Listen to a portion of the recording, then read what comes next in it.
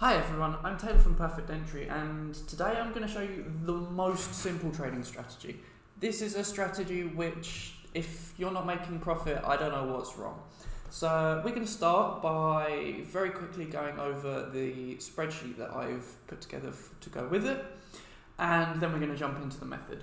So the spreadsheet we've got to go with it will be made available. Very, very simple. You can put your starting account balance in, and then after each trade is taken, you can just put the balance after the trade and you can put your date, direction, whether it was win, loss, break even, a link to the TradingView screen, which I'll show you how to do in a moment, and then any notes you may have. And it will then calculate your percentage gain per trade, and it will also tell you the rough lot size you should be looking at, assuming you're using a normal Forex pair. Um, in the spreadsheet, there is also a method help sheet, which you will find this method, where I've broken down all of the settings for all of the indicators, of which we're only using two. So you'll be able to get hold of this, and again, even if you're not using uh, this method, uh, take a copy of this spreadsheet because you can use it as a trade journal as well. Uh, at the end of the day, you're holding the date, direction, you're putting a TradingView link in, you're doing everything you need to be doing just as a good trade journal. Now we can jump into the method and I'm going to open TradingView now. So the method is very, very simple. I'm looking at the screen here. We are, in fact, I'll run through the indicators first. The indicators, I've got baseline overlay. The uh, only changes we need to worry about are in the two EMAs of the cloud, which I have set at 34 and 13. And then in the style tab, I've got the first six uh, ticked. And then we can come down and I have this plot right here, and that's the bottom, and that's all that should be on. Then in Pip Hunter SS, I have these four plots at the bottom, and in the inputs, I've changed them quite significantly actually uh, to being these. Again, all settings are in the method help sheet. So if you're stuck, you can always consult the help sheet. Now, where do we begin with this method? This method is super, super, super simple. All you've got to do is look for when you are the... So the first thing you'll note is the squares on the top. I have made these all maximum brightness. So if I go back into baseline overlay, you'll see that I turned the opacity all the way to 100% on all of them.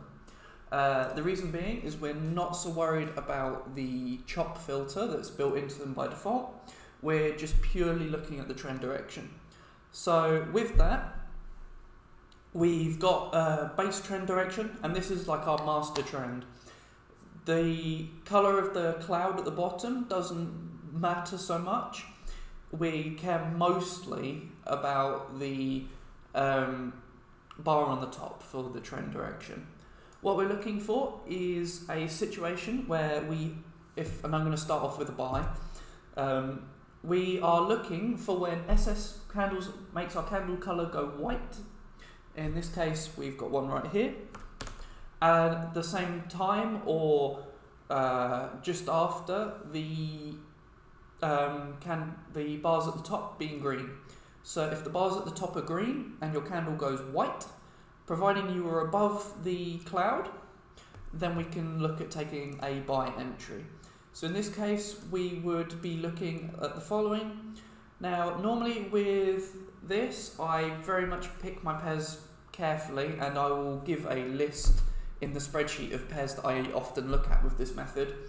But our entire aim is just to collect 10 pips.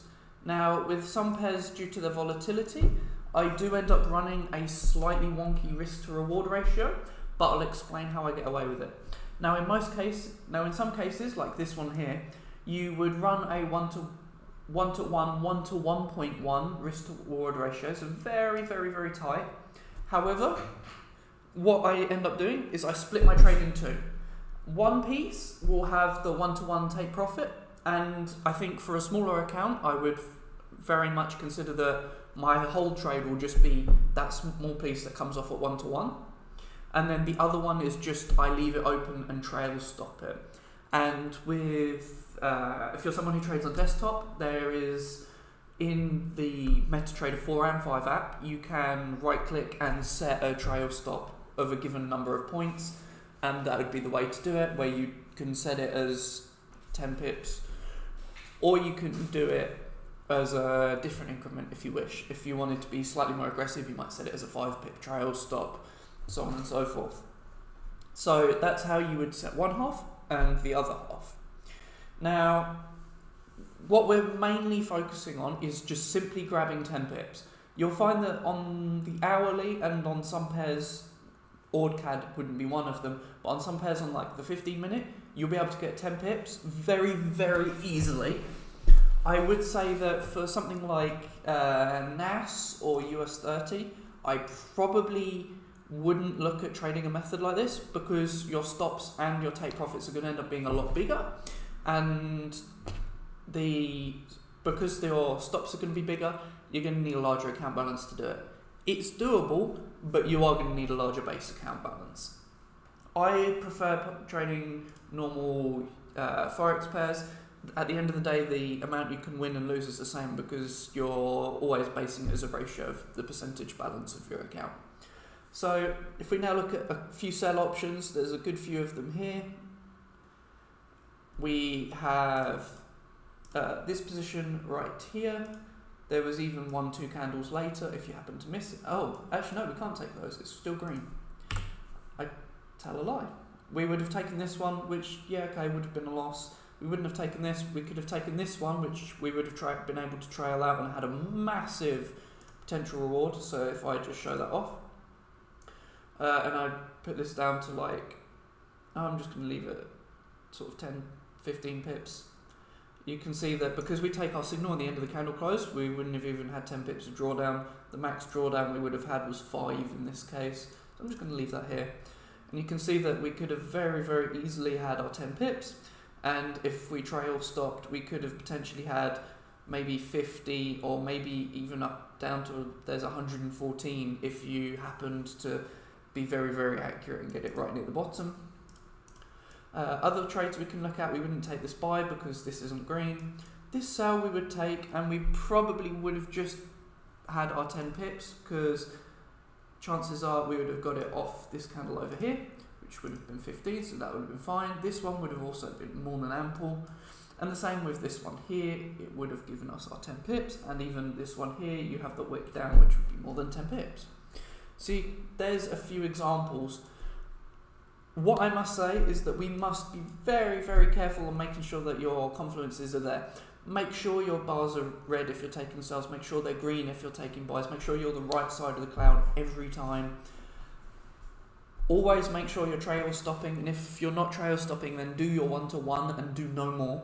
Um, unless you're someone who's going to be able to sit there and watch it. If you're sitting there and watching it, please, please, please make sure that you're not playing your own psychological game by just saying, oh, I'll let it run a little bit more, I'll let it run a little bit more, even if it starts coming back at you.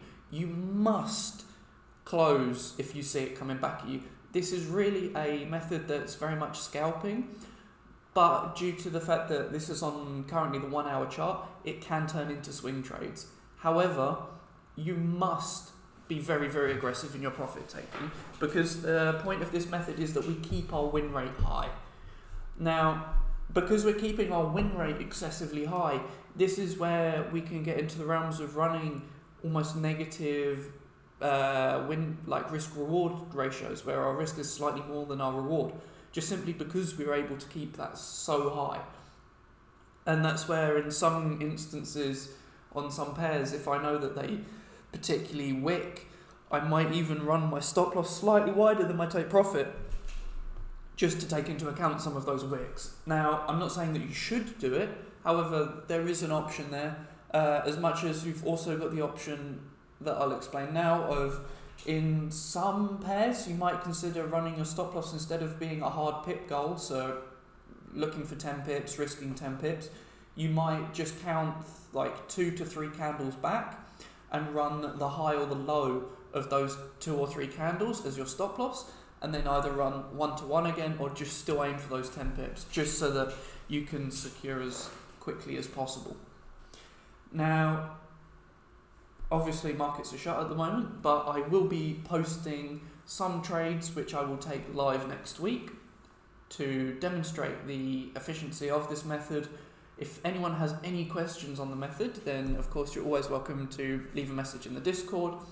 I will focus on trying to help as many people as possible with it, and really I'm trying to uh, do a week where we kind of drive towards this method just so that it can be adapted, but also so that it can help fix gaps with a lot of people.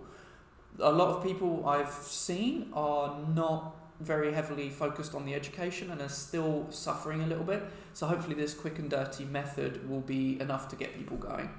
Uh, with all that said, uh, enjoy your week trading and I will see you in the next video.